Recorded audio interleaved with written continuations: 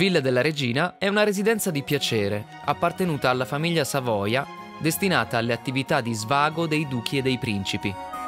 Dal 1997 è iscritta nella lista del patrimonio mondiale dell'umanità dell'UNESCO, all'interno del sito seriale delle residenze Sabaude. Il committente della villa fu il principe cardinale Maurizio di Savoia, Mecenate coltissimo e abile diplomatico, il cardinale prese a modello le ville dei colli laziali e realizzò il complesso a partire dal 1615, costituito da giardini all'italiana, parti boscate e pertinenze agricole,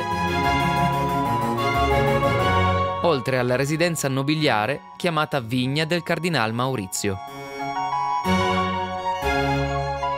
La posizione dominante sulla collina, quale ideale prolungamento della città di Torino, all'epoca capitale del Ducato Sabaudo, oltre ad essere piacevolmente panoramica, era fondamentale per esibire il prestigio del casato. La simmetria che governava la composizione del complesso diede un'impronta ai giardini, rispettata anche negli interventi settecenteschi. Il viale di accesso alla villa, delimitato da platani, conduce al Gran Rondò del Nettuno, con la sua grande fontana circondata da statue di divinità marine.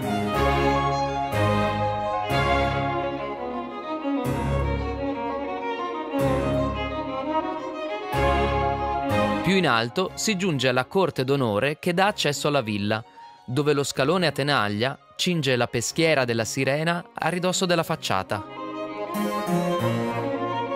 Il parco si sviluppa poi verso la collina, sfruttandone la conca naturale.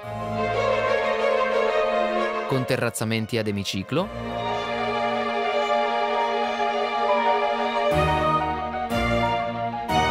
una serie di scale e il teatro d'acque, lungo l'asse centrale che conduce fino al settecentesco padiglione del Belvedere Superiore.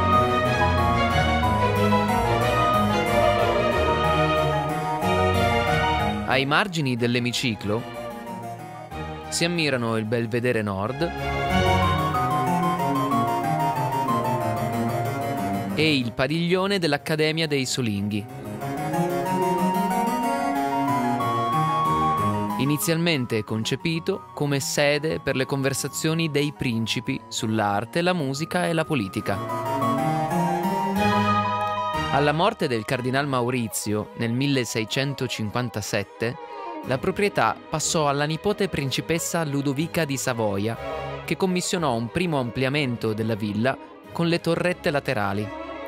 La principessa apre il lungo elenco di figure femminili che negli anni furono proprietarie o frequentatrici della residenza.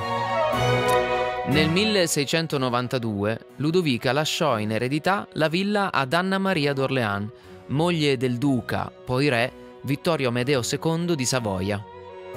Cresciuta nelle sontuose residenze della casa reale francese, la principessa fece sostituire i soffitti a cassettoni in legno del piano nobile con volte in stucchi bianchi e dorati. Acquisito il titolo regio nel 1713, la residenza di Anna d'Orléans divenne la villa della regina. All'interno dell'edificio, il piano nobile ospita gli appartamenti del re e della regina, caratterizzati da una sequenza speculare di ambienti affacciati sia sulla città sia sulla collina. Al centro della villa, negli anni 30 del Settecento, su commissione di Polissena d'Assia, Filippo Juvarra introdusse un salone a doppia altezza illuminato da grandi finestroni aperti sui giardini, interamente decorato con architetture illusionistiche ad opera del modenese Giuseppe Dallamano.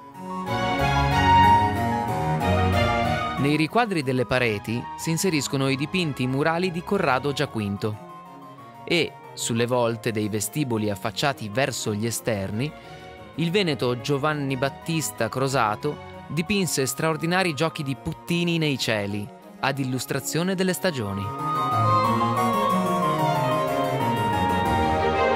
Sempre Juvarra inserì nella villa i gabinetti privati alla china secondo il gusto della corte per l'esotismo.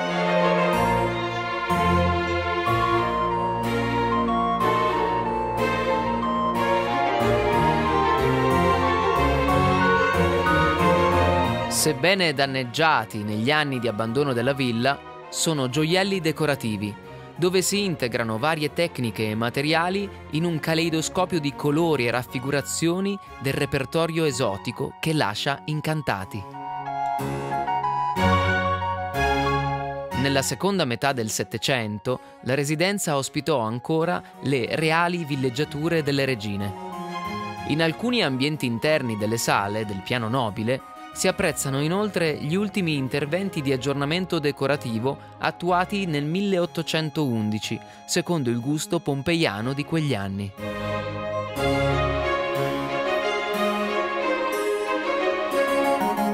Con l'unità d'Italia e lo spostamento della capitale da Torino a Roma, la villa, ormai inutilizzata, divenne un collegio femminile gestito dall'Istituto Nazionale per le figlie dei militari.